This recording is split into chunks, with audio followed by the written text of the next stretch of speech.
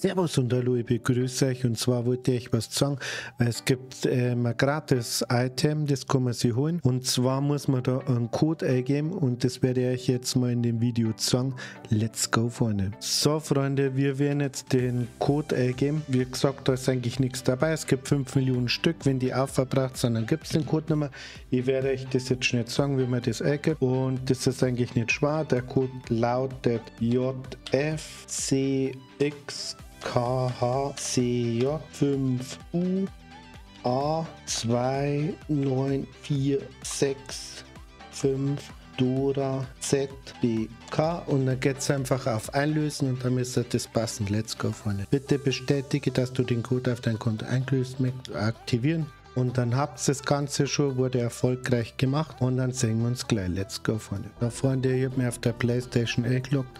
Schauen wir mal, ob das Ganze kommt. Normalerweise kommt es dann um die gekauften Gegenstände sind bereit für dich.